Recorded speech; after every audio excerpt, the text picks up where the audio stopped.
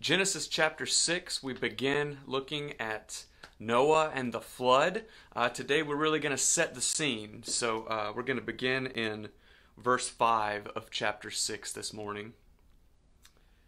The Lord saw how great the wickedness of the human race had become on the earth, and that every inclination of the thoughts of the human heart was only evil all the time.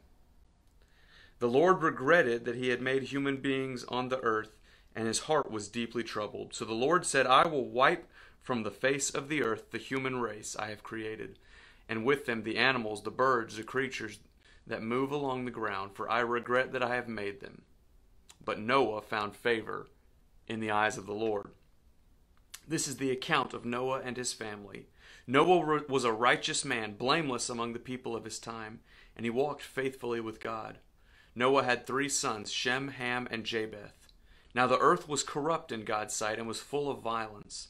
God saw how corrupt the earth had become, for all the people on earth had corrupted their ways. So God said to Noah, I am going to put an end to all people, for the earth is filled with violence because of them. I'm surely going to destroy both them and the earth. So make yourself an ark of cypress wood. Jumping down to uh, uh, verse 17 I'm going to bring floodwaters on the earth to destroy all life under the heavens.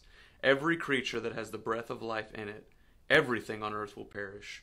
But I will establish my covenant with you. Well, we, as we look at Scripture, contrast is always one of the greatest places we can find lessons.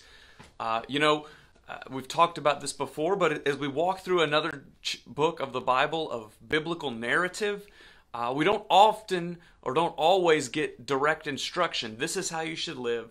This is how you shouldn't. Often it's through comparison, contrasting examples of people's lives. And as we look at the wickedness of the world, that everyone everyone's heart is filled with sin and brokenness, there's one man who stands out. One man who God sees as righteous. Somebody who walks faithfully with God.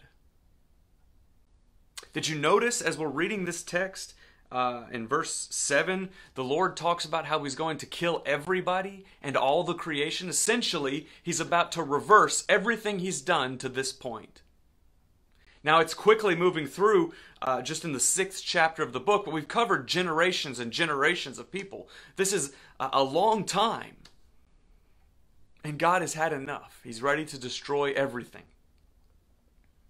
But there's one guy who walks faithfully with him. One guy whom God sees as, as worthy of saving. And that's the guy, the man, Noah.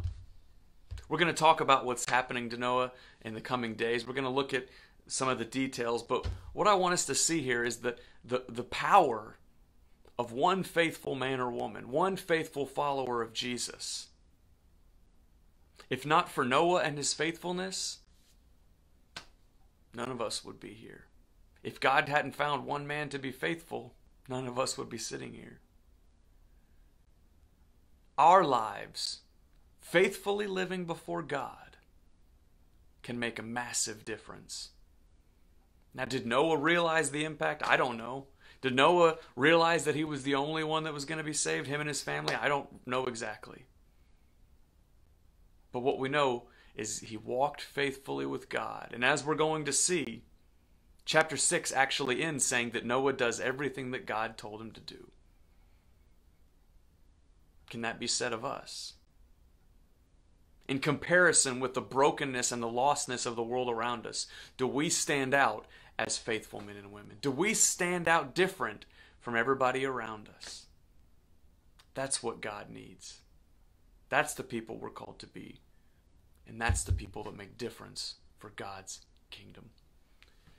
Father, help us to be as Noah, not as the mobs of people, not as the world and the standard of, uh, of the world, but let us be a man who's willing to stand alone in faithfulness, a man or woman who's devoted to your way. Help us to see your kingdom grow and your kingdom come. Let us be a part of your work by faithfully serving you. May the righteousness of Christ that we claim be evident in our lives. In your Son's holy name, amen. Have a blessed rest of the day. I'll talk to you tomorrow. Bye bye.